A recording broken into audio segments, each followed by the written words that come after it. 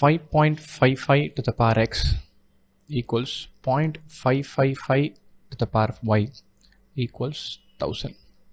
It's an absolutely wonderful question from exponents and logarithms 1 by x minus 1 by y. What is this? Fine. I tried and struggled and struggled and struggled in this exam and didn't get it right. It took me a long time and I didn't get it and I got lost. I should have probably been better at, at handling this. And how do we do this?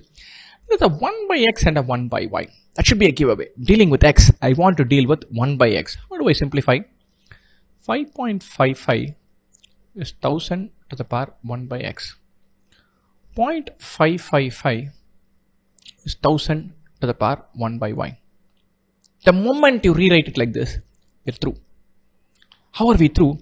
Divide one by the other. This is 10. So 5.55 by 0.555 is 10. This equals 1000 to the power 1 by x minus 1 by y. a power x minus a power y is a power x minus y. The same idea here. Brilliant. We are through. 1000 power 1 by x minus 1 by y is 10. What is 10?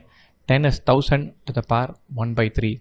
This is 1000 to the power 1 by x minus 1 by y or 1 by x minus 1 by y is 1 by 3. Did all kinds of complicated logarithm stuff. The key to unlocking this, my question is asking for 1 by x and 1 by y. Don't somehow contrive to form 1 by x and 1 by y.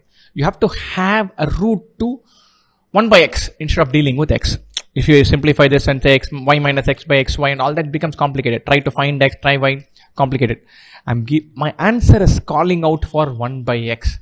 So I want to see 1 by x somewhere. I want to write an equation where the 1 by x is seen and then you're through. The moment you write this, you're through.